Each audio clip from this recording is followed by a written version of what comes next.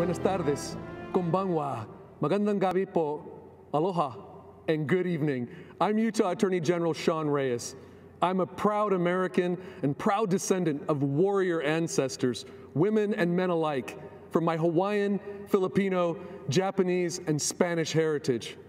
My father demonstrated his warrior spirit over 50 years ago, fighting a dictator in his homeland, the Philippines. Barely escaping with his life, he started anew in America.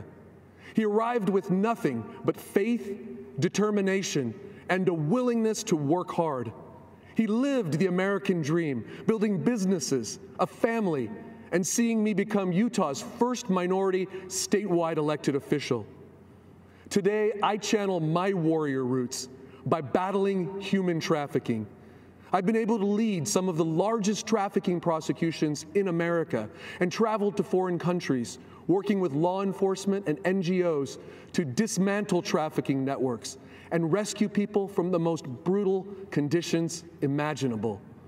Young girls and women sold into sex slavery, young boys and men forced into labor servitude, illegal adoptions, organ harvesting, human life utterly debased.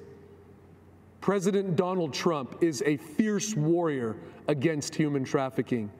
How do I know? Early in 2017, I had occasion to visit with him about our rescues. He asked insightful questions, expressed deep concern for victims. Overwhelmed with compassion, he promised to attack this evil. President Trump summoned Ivanka and leaders from his cabinet, directing resources and hundreds of millions of dollars for raising awareness, liberating victims, prosecuting predators, and empowering survivors. Together, they've done more to combat human trafficking.